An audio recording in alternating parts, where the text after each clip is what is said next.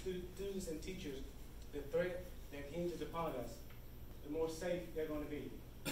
Because of crisis alert, every teacher will be able to lock down the school.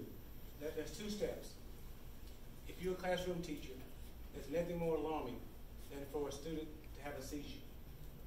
And if that occurs, you've got to stop, go to the telephone, and make a call to the administration in order for someone to come.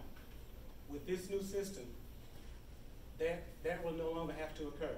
The teacher can push their button three times, and every administrator will know that that teacher needs assistance.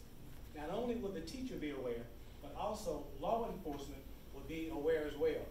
In addition to knowing who, we will also instantly be able to know where and which room it's occurring. So that, there's two levels of notification. The first level is what we call tier one. There's a fight, there's a child that's down, that, uh, we call it non-emergency.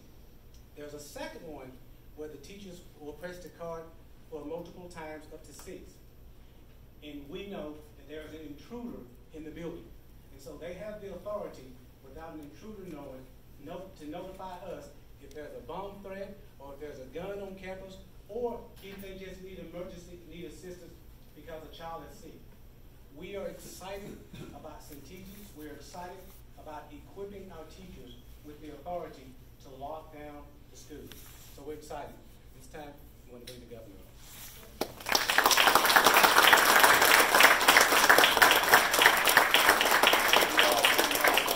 I'm so honored to be here, Superintendent North, thank you for the kind words there and for having us today, and I certainly want to thank uh, Ms. Watson for having us to this fine school. I understand that there's only two days of school left, so everybody here is in a great mood. As as a parent, I certainly uh, understand this time of the year well, but I just want to certainly thank Douglas County, the school system, the executive team that's here, all the educators and staff for having us today. I hope we're not disrupting the school day, but this is very important for us. Also want to thank uh, my former colleagues that I served with in the legislature and that I'm now working with as, as governor. I appreciate you guys being here and uh, sorry we couldn't have Representative Gravley with us today, but I know he is well represented.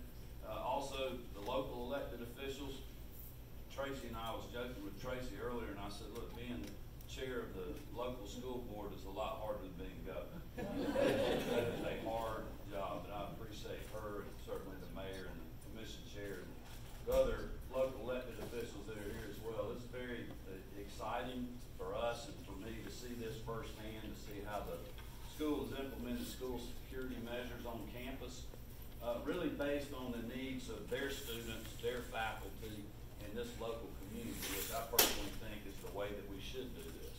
Um, it should be decided by the locals. You all know best uh, how to keep your school safe, and uh, we're glad to be able to partner in doing that without having some state mandate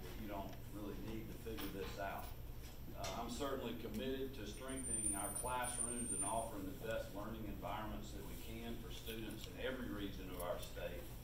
And as part of this commitment, I'm proud to say that we fully funded public education for the second year in a row. And I think by I think by doing that, it gives the school systems, along with the school security grants that we funded in the amended budget that uh, Superintendent North talked about, it gives them the ability to go out and find companies like Centegix uh, to do great keep our environment safe.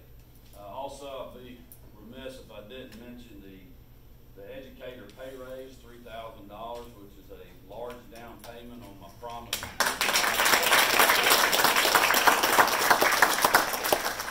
I've had a lot of educators, uh, a lot of the administration, and other folks that have been thanking us for that. I'm very thankful, but also appreciate the support of the legislature.